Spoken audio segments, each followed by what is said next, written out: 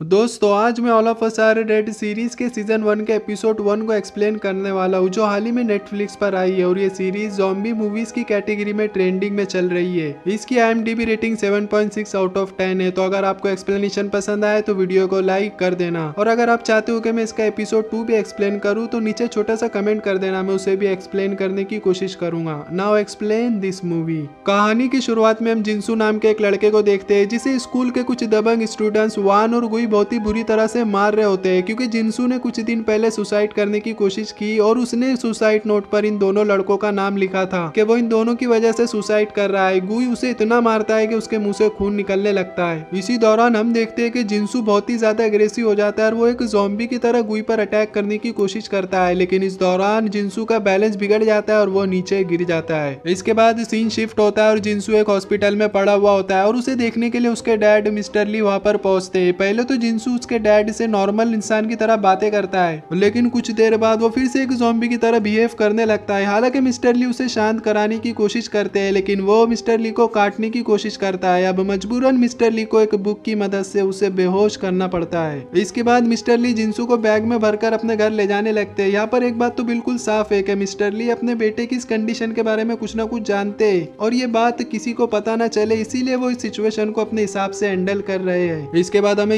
यूसान high school को दिखाया जाता है। जहाँ पर सभी स्टूडेंट स्कूल की सफ़ाई करने के बाद अपने घर जा रहे होते हैं, तभी योंजू नाम की लड़की को साइंस लैब में किसी के होने का एहसास होता है। जब वो चेक करने के लिए वहाँ पर जाती है तो वहाँ पर एक चूहा होता है, जो पिंजरे में उछल रहा था। योंजू को वो चूहा बहुत ही क्यूट दिख रहा था, इसीलिए वो उसके साथ खेलने लगती है, लेकिन वो चूहा उसके हाथ पर काट लेता है। तभी हम देखते हैं की वो चूहा भी किसी जोम्बी की तरह बिहेव कर रहा है। तभी वहाँ पर योंजू का साइंस टीचर मिस्टर ली आ जाता है। उसे देखकर योंजू वहाँ से जाने लगती है, लेकिन मिस्टर ली ज़मीन पर योंजू का खून देख लेता है, इसीलिए वो उसे वहीं पर कैद कर लेता है। दोस्तों, कहानी में आगे बढ़ने से पहले हम सीज़न के मेन कैरेक्टर्स के बारे में जान लेते हैं, जिनके नाम होते हैं चोंगसन ओंजो सुयोक और नामरा चोंगसन और ओंजो बचपन के क्लोज फ्रेंड होते हैं, क्योंकि वो एक दूसरे के पड़ोसी होते हैं। चोंगसन ओंजो से प्यार करता है, लेकिन वो ये बात उसे बताने से भी डरता है। लेकिन ओंजो सुयोक को लाइक करती है, लेकिन सुयोक क्लास की मॉनिटर नामरा को पसंद करता है। आई नो आपको थोड़ी सी कंफ्यूजन हो रही होगी तो आप वीडियो को रिपीट करके सुन लेना, आपको समझ में आ जाएगा। खैर, मुझे कॉमेंट करके बताना इस प्यार को क्या नाम दे। इसके बाद हम वान और गुई को देखते हैं, जो दो स्टूडेंट्स को परेशान कर रहे होते हैं। उनमें से एक का नाम ओंजी होता है और दूसरे का नाम चुलसू होता है। गुई उन्हें बहुत तंग करता है, लेकिन हद तो तब हो जाती है जब वो ओंजी की नेक्स्ट वीडियो रिकॉर्ड कर लेता है और उन्हें धमकी देने लगता है कि मैं ये वीडियो दो दिन बाद सोशल मीडिया पर अपलोड कर दूँगा। गुई ऐसा इसीलिए कर रहा था क्योंकि चुलसू ने गुई का नाम प्रिंसिपल को बता दिया था कि उसी की वजह से उस रात जिंसू मारा गया। वैसे मैं आपको बता दू जिंसू मारा गया और उसकी डेथ कैसे हुई है हमें नेक्स्ट एपिसोड में पता चलेगा। इसके बाद हम योंजू को देखते हैं, जिसके अंदर अब इन्फेक्टेड होने की वजह से बदलाव होने लगे और वो अपने हाथों की रस्सी को तोड़कर खुद को आज़ाद कर लेती है। फिर हम चौंगसन और ओंजो को देखते हैं, जिनकी क्लास चल रही होती है। यहाँ पर हम हीसू नाम की एक लड़की को देखते हैं, जिसके पेट में अचानक से दर्द होने लगता है, इसीलिए वो मिस पार्क से परमिशन लेके मेडिकल रूम में चली जाती है। इसके बाद मिस पार्क बोर्ड पर एक फॉर्मूला लिखती है और नामरा से उसका आंसर पूछती है, जिसका आंसर नामरा सही सही देती है, लेकिन जब मिस पार्क सुयोग को खड़ा करती है और उससे पूछती है कि, नामरा ने अभी क्या कहा? तुम उसे एक्सप्लेन करो. इस पर सुयोग कहने लगता है कि, नामरा ने जो भी कहा, बिल्कुल सही कहा। उसका आंसर सुन के सभी बच्चों की हँसी छूट जाती है। तभी वहाँ पर योंजो आ जाती है और क्लास में आकर गिर जाती है। योंजो मिस पार्क को सब बता देती है कि मिस्टर ली ने उसके साथ क्या क्या किया। इसके बाद मिस पार्क सुयोग की मदद से योंजो को मेडिकल रूम में ले जाती है। यहाँ पर हम ईसु को देखते हैं, जिसकी तबीयत और भी खराब होने लगी है। इधर नर्स जब योंजू का टेम्परेचर चेक करती है तो वह बहुत कम होता है। इसीलिए नर्स मिस पार्क से कहती है कि हमें इसे यूजान हॉस्पिटल में एडमिट करना होगा। तभी हम देखते हैं कि योंजू अब धीरे धीरे जोम्बी में बदलने लगी है। उसकी ऐसी हालत देखकर सब लोग बहुत ही ज़्यादा डर जाते हैं और मिस पार्क पुलिस को कॉल करके बुला लेती है। अब योंजू को शांत करने के लिए नर्स उसे बेहोशी का इंजेक्शन देने लगती है। लेकिन इस दौरान योंजू नर्स के हाथ पर काट लेती है। फिर हम देखते हैं कि योंजू को यूजान हॉस्पिटल के लिए रवाना कर दिया जाता है। जब ये बात मिस्टर ली को पता चलती है तो भागते हुए प्रिंसिपल के ऑफ़िस पहुँचता है और प्रिंसिपल से कहने लगता है कि योंजू को